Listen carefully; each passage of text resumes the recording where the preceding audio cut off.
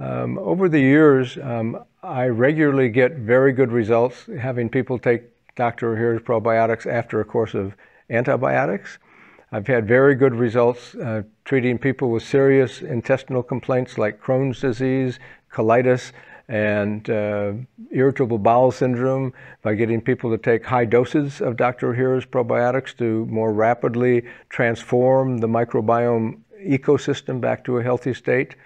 Um, I had a personal friend of mine who was an athlete in my CrossFit exercise class who had uh, MRSA in his nose, and his little nine year old daughter had MRSA on the back of her thigh, and MRSA stands for methicillin resistant Staphylococcus aureus. It's one of the very serious antibiotic resistant infections.